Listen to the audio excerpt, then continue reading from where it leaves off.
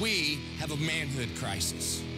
Apart from Jesus Christ, the God man, you will never truly know how to be a real man, a godly man.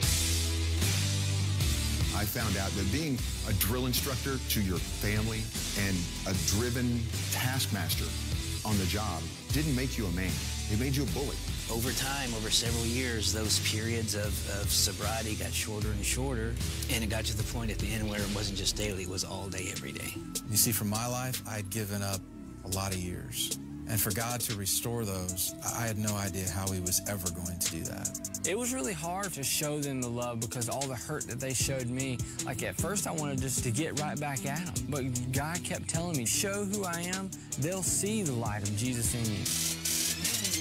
When boys try to declare themselves men, they most often just consume bigger toys and they call it manhood. That means more women, more beer, more money, more success. And the results are entitlement over responsibility. The results are boys that can shave. God revealed to me all these men in my life that I could look up to and say, that's what a Christ like man is. As a man, there's this kind of myth that you always got to have it right. And when you know that you don't, it can create this insecurity that we all have. And so for me, scripture was the way I started warring with that effectively. I think God's really continued to work on my heart to what that looks like to be surrendered, completely relying on Him. God wanted you to put on display for this world His glory and what it means to be a man. And it is time for us to reject this world's definition and to accept the biblical definition of manhood. You see, every single man, we have been called to be provider, protector, prophet, priest, and servant king. And the reality is, when men stand up and act like men, godly men, then everyone flourishes.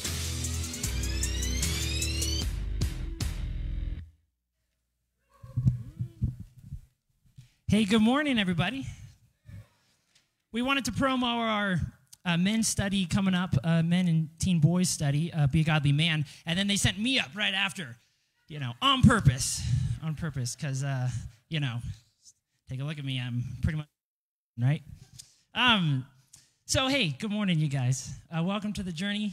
Uh, hey, my name is Andrew, and I always used to say that I, uh, I'm our PACE team leader and I do youth and schools work here at The Journey, but I can no longer say that. Uh, I stepped down last week and uh, now I'm just Andrew, member of The Journey, and uh, to continue to do youth work with you guys. But uh, I can no longer say my old intro. That's weird. That's weird. Hi, Ivan. Hi, Ivan. Thanks, buddy. Well, hey, let me start off with this morning. Um, we hope that every one of you got one of these cards that says bless on it. If you have one, raise it up for me. Yeah, okay, great. If you did not, Miss Nadine in the back has some, uh, and we can get one of these to you, but you are uh, going to need this later on in our service. We have a special task for you to do with these, uh, which is going to help you help you learn something amazing today, I'm sure. So, if you don't have one of these, uh, Nadine in the back has them, and you can walk back and grab one. Okay? Hey, uh, this weekend was a lot of fun for me. I, uh, I got to have my brother come into town and visit, and this morning I had to say goodbye to him. So took him to the bus station. I heard there was a bus station in town, but I had never been. Uh, I just drove past it, but buses do come there. And I dropped him off, and he got picked up but it was a lot of fun. I saw half of you at City Market yesterday, it felt like, and it was fun to introduce you to him. And he had to leave early this morning, otherwise, he would have stayed at church. But um, he, it was great for him to be here and see the town and see my people and meet some of you guys uh, in town. Either at City Market, we met some of you, and some of you, the rest of you, it felt like at Prodigals. So uh, that was a lot of fun. All right, well, our three cards are still the same. So uh, we have our welcome card if you are new. Uh, we want to welcome you to the journey and get connected with you. So, our uh, red um, is our communication card. Our green is how to get involved at the journey. If that's something you want to do, sign up for a service team or get involved. And then uh, blue is still praise and prayer requests. So, find those in the back and uh, fill out the appropriate ones. Hey, we would like to remind you guys, it's been a little while since we plugged it. Um, right now, media is still available. Still available. It's a free gift to every person who uh, attends our church. Uh, and so it's a great resource. Um, many of you have already signed up to receive this free unlimited access to Right Now Media. The world's largest library of video driven Bible study resources. They have fun shows for kids, studies on books of the Bible, training videos on leadership, and much more. Um, so, getting started is easy. Stop by the welcome desk to sign up. There is a QR code uh, to get on that resource. One thing on that resource is a study that we're going to start, and uh, we're trying to see gather interest, um, and that is our Be a Godly Man series. It's a resource that we found on Right Now Media, and um, myself and Phil Walitz, one of our youth group leaders, uh, feel like it would be a really good series to do with our youth group boys and uh, the dads of those boys who, who want to come and join and do it together, actually, um, father and son. And so we are gathering information about it and um, interest, and we're going to set a, a, time. But there is an interest sheet in the back by the welcome desk. So if you, uh, your, your child and you as a father would be interested in that, let us know. We want to find a time that works for everybody to meet. And uh, it's a five series class, five sessions, and uh, we're really excited to to tackle this topic. Kind of a tough topic, a lot of different uh, views at it, but we want to look at it from a biblical perspective. And Right Now Media seems to have a really good resource that we're going to use as a, as a discussion guide. Okay, so if you're interested, please let us know. Talk to me or Phil, uh, and then sign up in the back and just put your name on the list, and we'll get connected with you. All right, women of the journey, give me a woo. All right. Hey, there's an exciting new opportunity for you guys this fall. It's in the works. Um, uh, it's a discipleship, teaching, and serving uh, group uh, community for women and girls of all ages called Women at the Journey. Watch for details over the next couple of months, right? So that is an exciting opportunity coming up for you guys. Women at the Journey. CR Summit, one day at a time, is approaching. The virtual watch, par- watch party is coming up soon, July 10th to 12th. Uh, we're going to have it live streamed here daily at 9.30 a.m. here at The Journey. And everyone is welcome to attend, not just those who attend CR. I would be like, hey, everyone who attends CR, give me a woo woo, but that would break the code of CR because it's anonymous. So I'm not going to do that. Unless you're Ivan and you want to hoot and holler and let everybody know. Um, so, but but but come come check out the CR Summit. I actually got to go to the CR Summit last year in person, live in in California, and it was amazing. Uh, amazing ministry, really uh, great leaders, great leadership, and a great resource. So that is happening starting uh, this week, daily at 9:30 here. Finally, summer supper. We have another summer supper uh, July 31st at 6 p.m. Want to just plug that and put that on your calendars. Sign up via the announcement email or stop by the welcome desk. Uh, our ministry focus is the Henderson family, missionary family. Uh, you, a lot of you who've been attending a while know them. They like to come back and update us on what's going on, and our church supports them uh, through prayer and financially. So we get to hear more about what's going on in their ministry, the Hendershot, Henderson, sorry, not Hendershot, Henderson family, uh, July 31st at 6 p.m. And I would be remiss, Nadine mentioned there is a sign up sheet. It's not on my list, but I was told to mention it for nursery. Uh, we are still in need of a few more nursery volunteers. We appreciate those who have signed up already. It's amazing. We're, uh, we're in the home stretch. We have a few left. And that's also on the back at the welcome desk. All right, I think that's all I got for you guys. Thank you. We are glad you're here and hope you enjoy the rest of our service.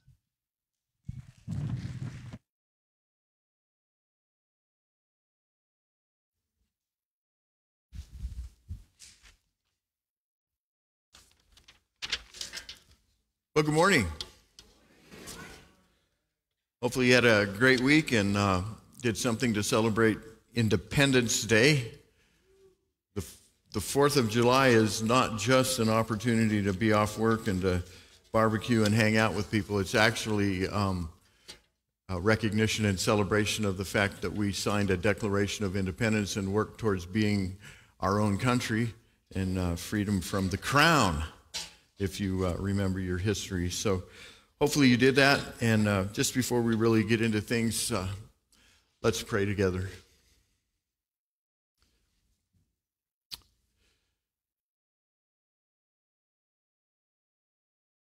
You know, if you're um, physically able and so inclined, would you join me on your knees?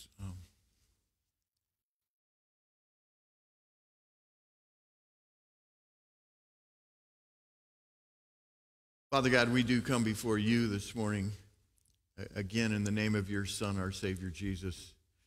And God, I thank you for your spirit that binds us together as one. And we recognize you as the supreme one. And God, we, um, we just count it a privilege to live when we do and especially where we do. God, thank you for the great freedom that we enjoy here in America. Thank you for the freedom today talk about you, to say the name of Jesus, to read your word, and to open it together. God, I ask that you would so work in us that um, you would begin to change our families and our church and our community. And God, that you would just um, energize those who are truly following you through Jesus Christ, that we might um, be the source of stability and of the future. God, we, um, we just thank you again. Lord, and there's um, so much that's just not right and so much turmoil everywhere. And so we press into you. We ask that you would um, give us uh, strength, wisdom, endurance, perseverance, that each one of us would, um, would walk in paths of righteousness. And we can only do that when we let you be our shepherd. And so I pray that that would happen. God, we just um, we look forward to Jesus' return. We look forward to um, to the, the just the excitement and the reality of that, and and ultimately those who know Christ to one day see Him and be like Him. And yet, God, we thank you that you're not slow concerning that promise, but that you tarry that more would come to faith. And so we thank you for your heart for people and, and uh, that you so loved the world that you gave your only begotten Son, that whosoever believeth in him should not perish, but have everlasting life. So, God, we just give you the glory and the honor and the praise and recognize that this room and this time is not about this country, although we thank you again for America. But God, this is about our ultimate citizenship, which is in heaven if we make you our Lord and Savior. We ask that you would speak to us as only you can through your word. We pray in Jesus' name.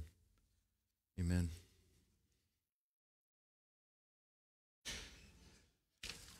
That's getting harder and harder to do.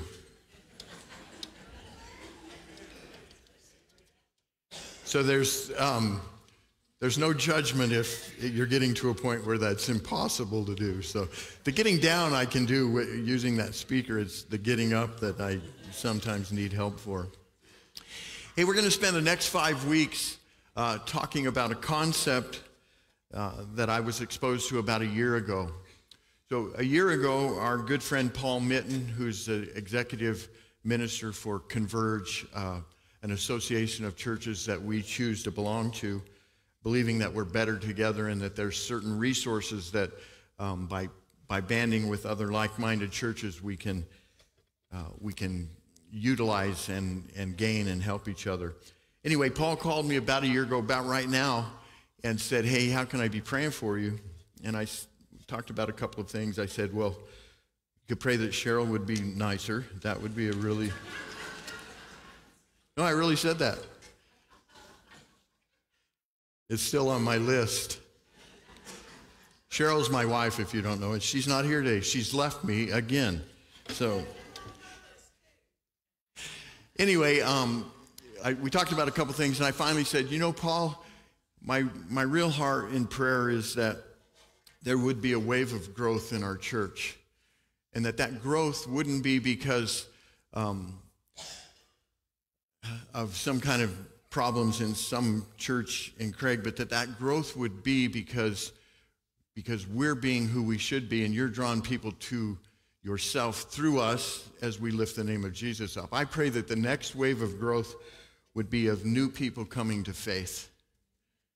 And um, so Paul prayed, and about a week later, through Paul, I got an invitation to be part of a, a cohort, an association, a, a process with Wheaton University and Converge, the association of churches that we're a part of. And the process is intended to help a church become, become more focused and intentional about sharing their faith. Um, it's recounted in that process, and it's so true of us that many churches are very good at connecting with their community.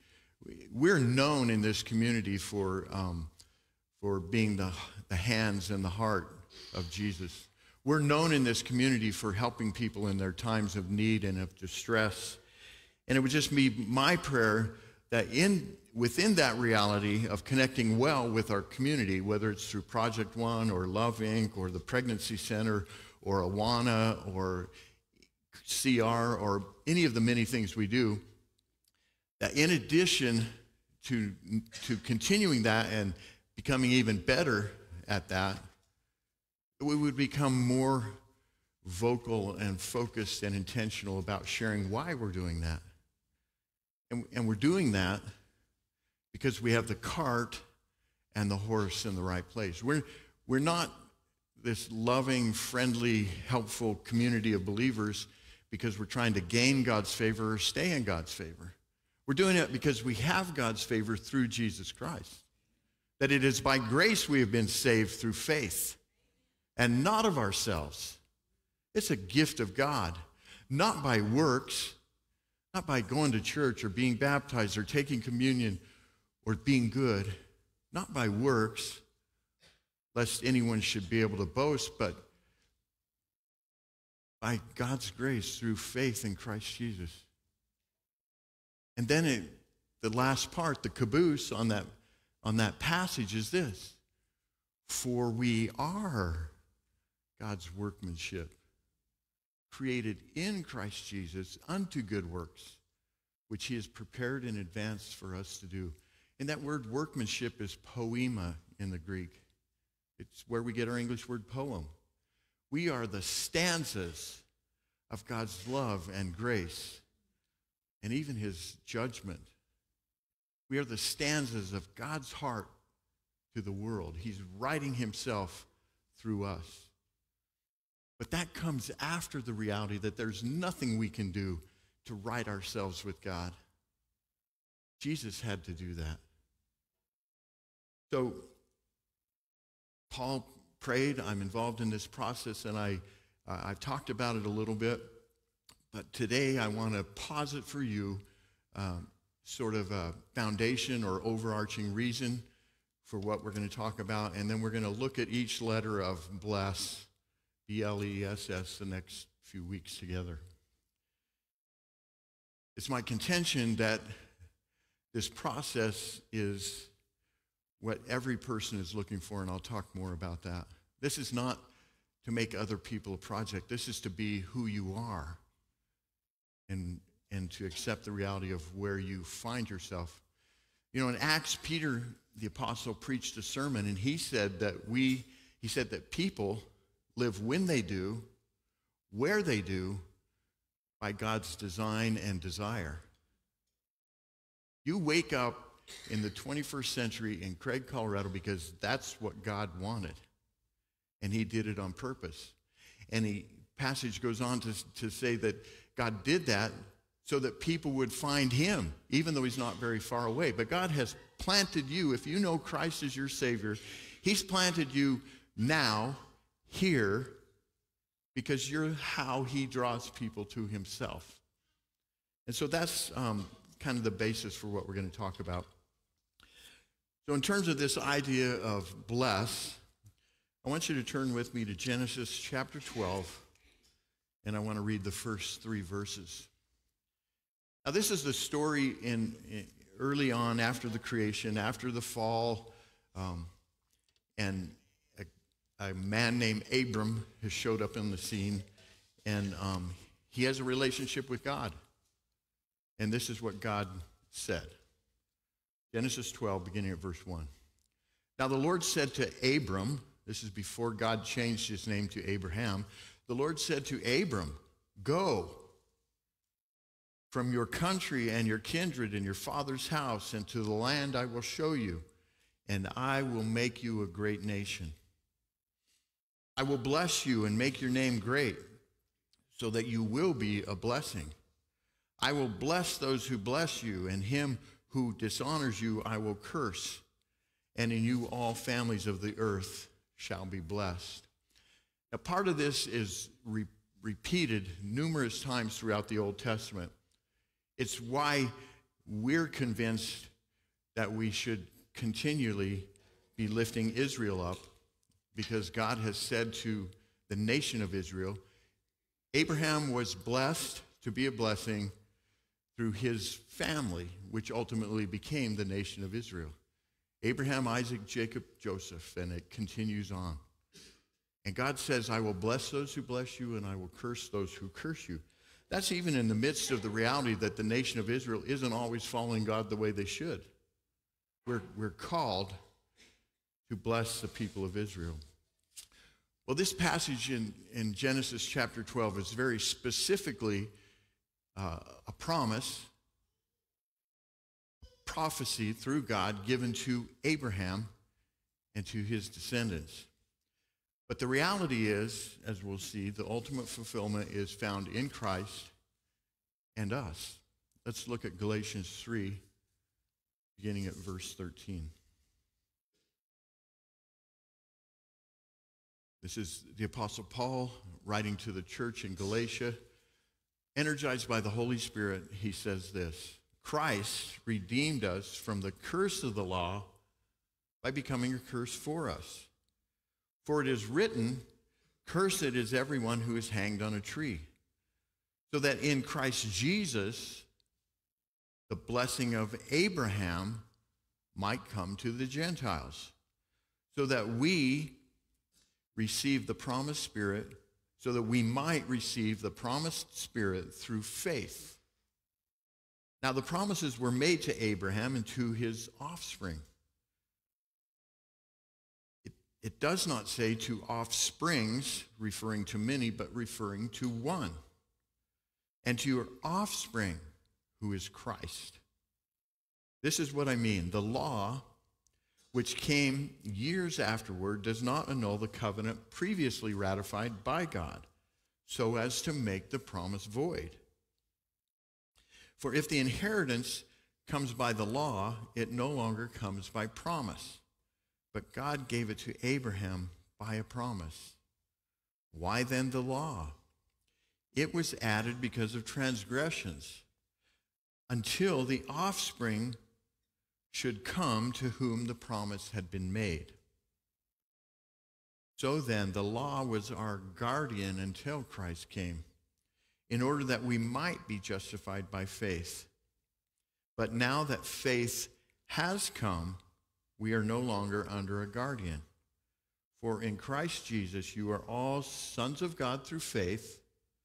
And if you are Christ, then you are Abraham's offspring heirs according to the promise. Now, that's pretty long, and it would take a, a couple of sermons to really unpack that, but here's the bottom line Abraham was blessed by God to be a blessing to the world. But the ultimate promise through that is that it was referring forward to Christ. And so that all who would believe and receive Christ, believe on and receive Christ, would now be that promise of being blessed to be a blessing to the world. So this morning I want to look at the promise clarified, how the promise continues, and then I want to look at the promise currently, especially currently with us. If you really look at the promise that was given to, to um, Abraham, this clarification of this is that there were actually five promises given to Abraham in Genesis 12. There was a promise that he would make Abraham a great nation, he would give him a great name. And then there's, there's a great statement that he would be a blessing. And then there's the ramification of that, that it, he would bless, um, see how it reads exactly. I will bless those who bless you and dishonor those who dishonor you, I will curse. So there's a ramification of the reality that God has blessed Abraham in such a way that he's a blessing to others. That the others should be acknowledging that blessing. And then it ends with the great promise. And in you, all the families of the earth will be blessed. There's five individual blessings found in that promise from Abraham to God. The really interesting thing is that there's five curses found in the first 11 chapters of Genesis. Five curses because of the rebelliousness and wickedness of man found in Genesis 1 through 11. And in Genesis 12, God chooses a man and deposits upon him five promises and blessings. And we'll talk more about that in a minute. You see, the promise continues. The ultimate fulfillment of this promise is in Christ. And God intends to reverse the curse through Christ, who is the offspring. Think about it for a minute. God takes this man and he says, I'm going to bless you. You're going to be a great nation. I'm going to give you a great name. Ultimately, I will bless all the families of the earth through you. Now, if that was just about this man, this human being, Abraham, what, what's the blessing that we could receive? It could be prosperity, it could be peace here on earth, it could be very temporal reality. You see, the ultimate promise that God is giving here is to the and through the offspring that would come. You see, you got to remember this is on the heels of the reality that Adam and Eve chose to sin in the garden.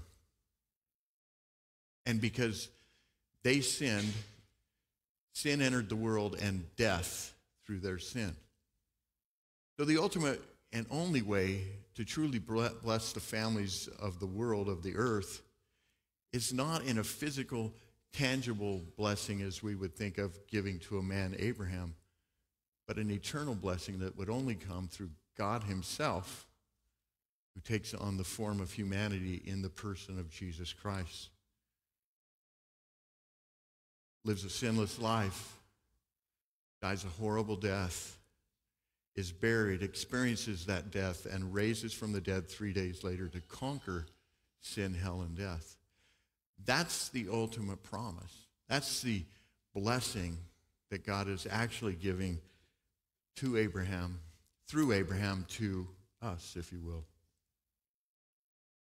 In what we read earlier, Genesis 3:1, Christ redeemed us from the curse of the law.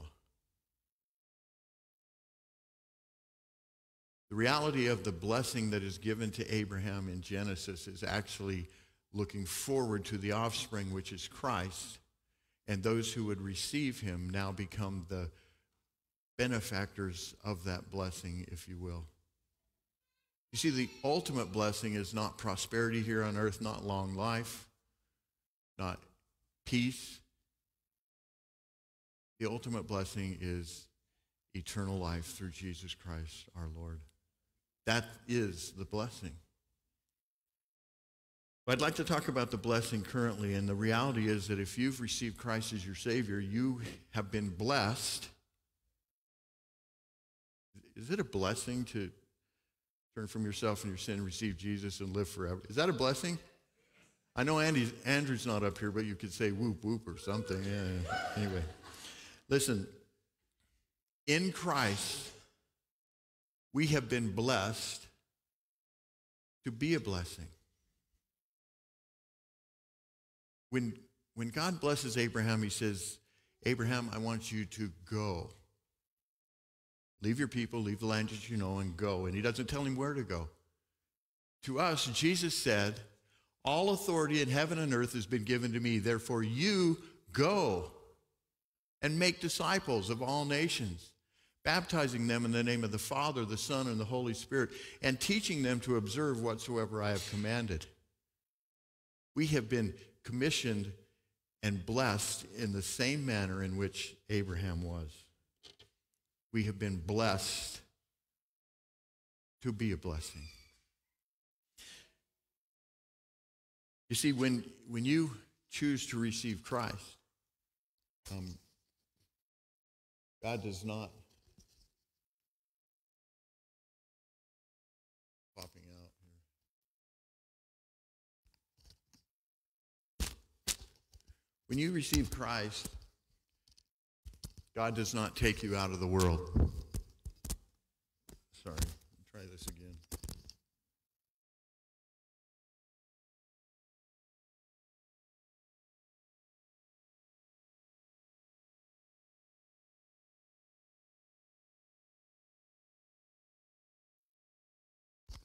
Or there we go. Is that better?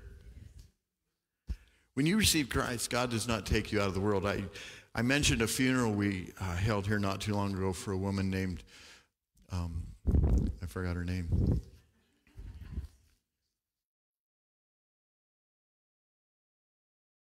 No. Ellen McMichael. Thank you for that. We read at her funeral some words that she penned uh, in the last few days of her life.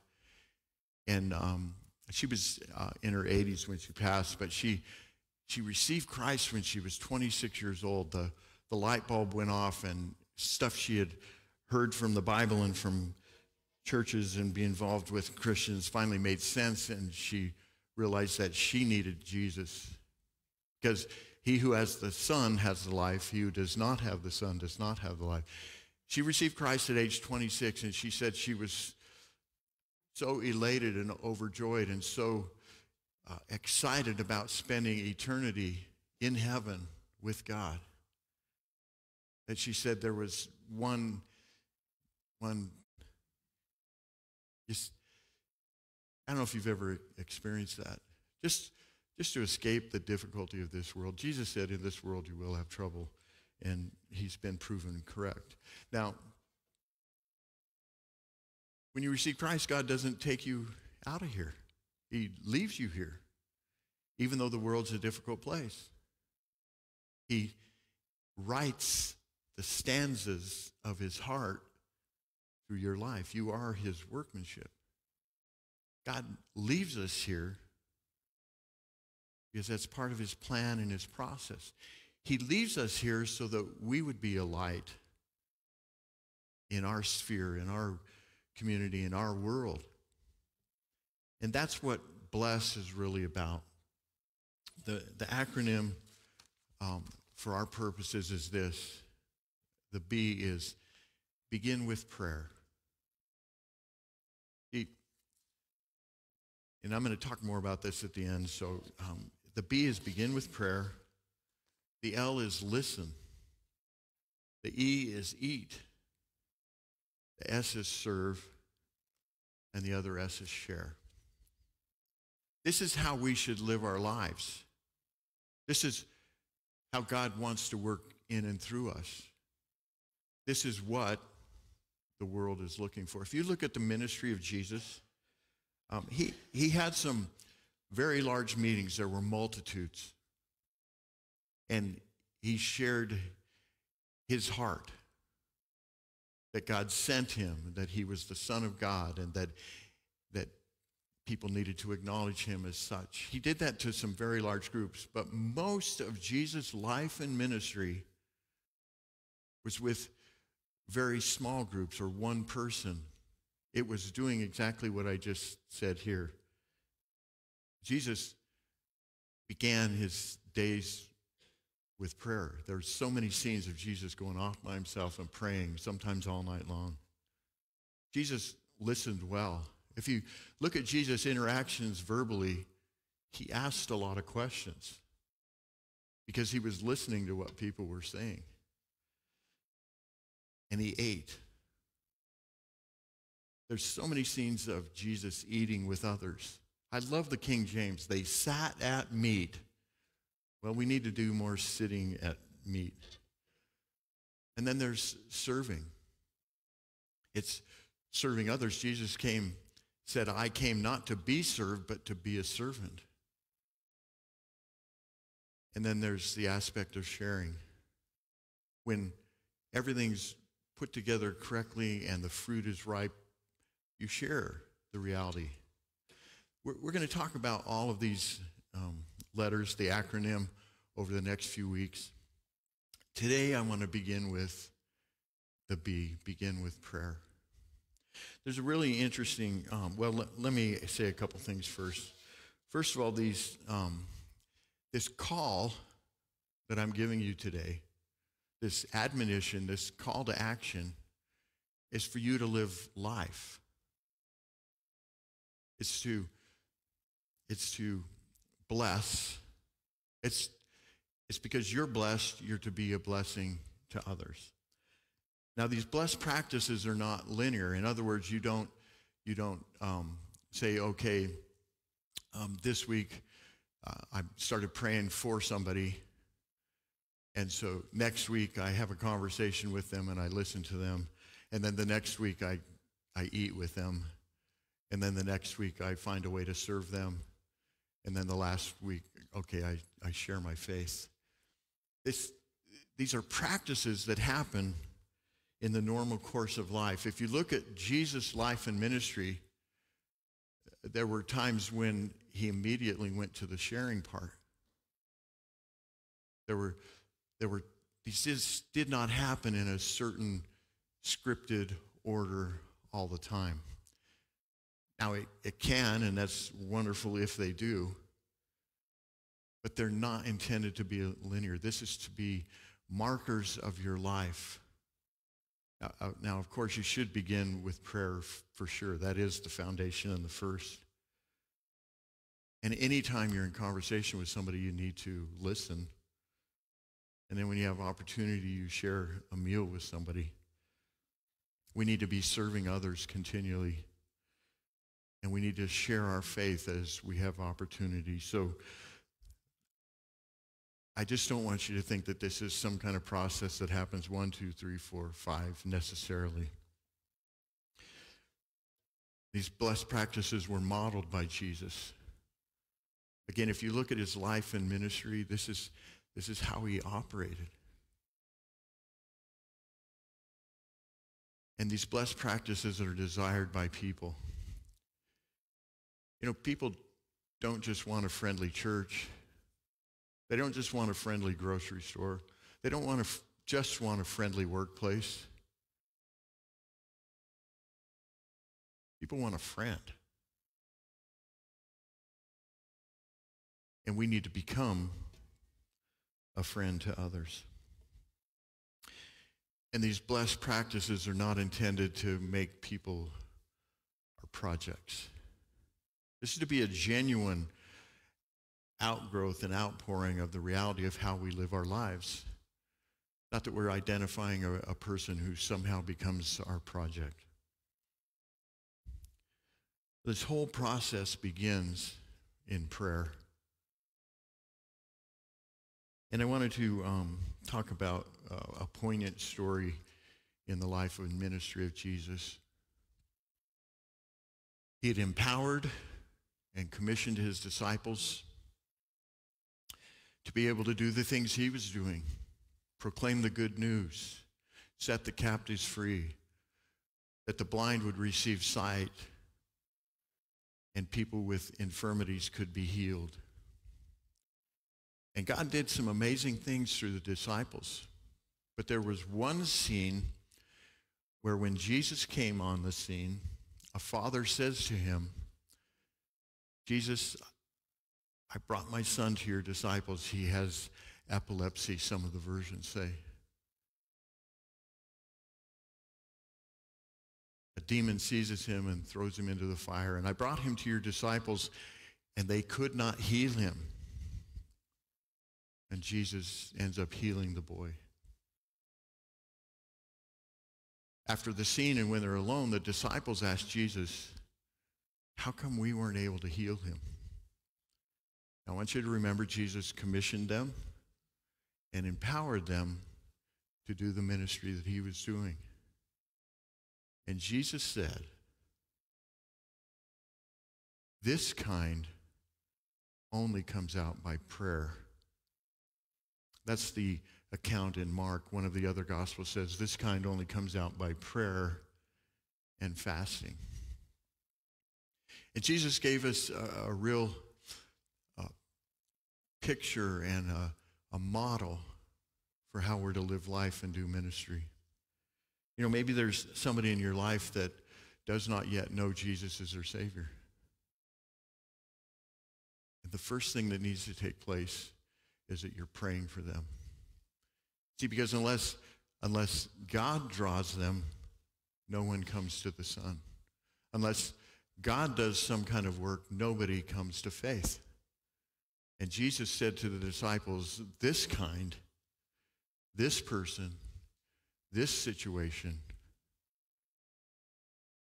is only remedied through prayer. And if you think about somebody that you know that you're burdened for that doesn't yet know Christ, that person will only come to faith through prayer. I stand here today a follower of Christ because of um, at least two, uh, besides my parents, two ladies in my life. One was a woman named Aline Silver, and another was my grandmother. And those two ladies who didn't really know each other, my grandma lived in Kremmling, Aline lived here, they prayed for me that I would come to faith, that I would walk in, in the ways of God. I remember um, in about 1980, I was part of a small group, and we were identifying people that that um, we wanted to see God work in their life, and we were praying for them. And for me, the, the primary one at that point was my younger brother. And he was not in a good place in his life, and um, he was working in the oil field and involved in everything that comes along with that. And he uh, just was not exhibiting a life of somebody who was following God. And I was praying concertedly. I was actually fasting and praying often in burden for my little brother. And this went on for probably six months. And I just, I prayed concertedly. And one night at about midnight, Cheryl and I got a phone call, and it was my little brother, and he was living in Colorado Springs at the time, and he, he said, he said, Leonard, you'll never guess what happened. And I said, what? And he said, I became a Christian tonight. I said, well, what, what happened? He said, I went to a Nicky Cruz concert or Nicky Cruz um, event. So if you've ever read The Cross and the Switchblade, um, Nicky Cruz was prominent in that story.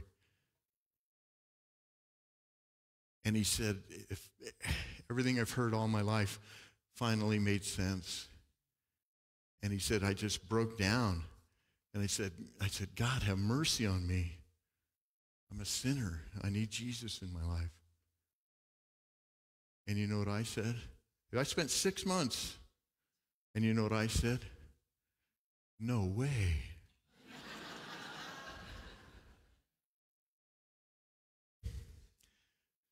this kind only comes out by prayer.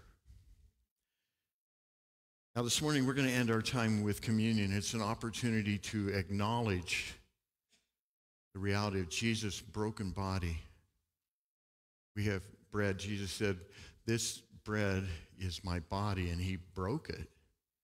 And after giving thanks, he dispensed it to the disciples. And as they ate it and made it part of him, part of them, it was a picture of the reality of the need to receive Jesus. And after that supper, he took a cup and he said, This is the cup of the new covenant found in my blood. As often as you drink this, do it in remembrance of me. And so we have an opportunity this morning to, to pause and to reflect on what Jesus went through. We share an open communion here, which simply means if you've received Jesus as your Savior, whether you're a member of this church or not, whether you've been baptized here or not, if you've received Jesus, you are invited to this table to publicly declare that Jesus is Lord.